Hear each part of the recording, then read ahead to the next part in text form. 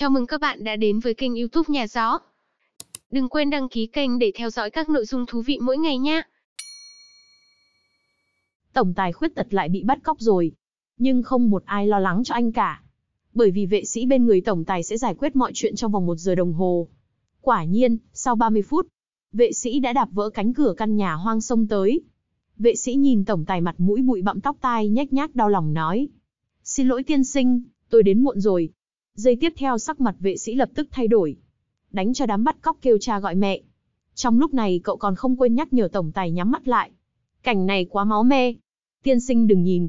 Sau khi xử lý xong đám bắt cóc, vệ sĩ lau tay sạch sẽ xong mới tiến tới muốn bế tổng tài. Nào ngờ cậu vừa mới vươn tay ra đã bị một bàn tay nắm chặt.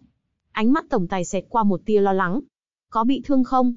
Mau cởi đồ ra cho tôi kiểm tra. Gương mặt vệ sĩ nóng bừng, khi bị tổng tài kiểm tra chỉ biết run rẩy không dám phát ra tiếng. Cậu sợ tổng tài phát hiện ra tâm tư của bản thân dành cho anh không trong sáng. Vệ sĩ có xuất thân thấp kém.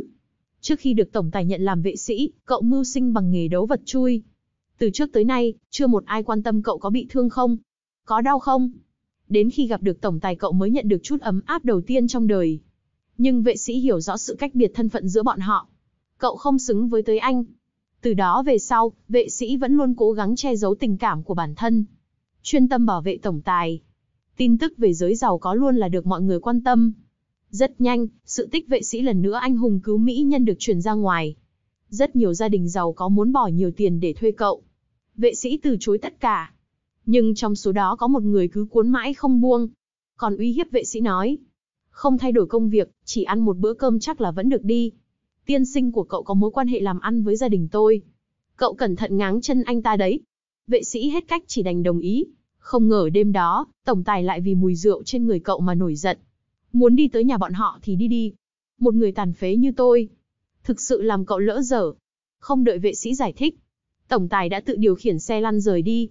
Sau này khi anh ra ngoài, cũng không cần vệ sĩ bế đi nữa. Vệ sĩ biết bản thân đã làm sai rồi. Sợ tổng tài thấy mình lại phiền lòng, cậu chủ động nộp đơn từ chức rồi rời đi. Không lâu sau, vệ sĩ nghe tin tổng tài lại bị bắt cóc rồi. Cậu dối rắm rất lâu. Khi chạy tới nơi, thì thời hạn một giờ cũng đã qua. Xung quanh yên tĩnh đến đáng sợ. Trái tim vệ sĩ như bị bóp chặt. Cậu không biết tổng tài đã bị giết hại hay được vệ sĩ mới cứu thoát rồi.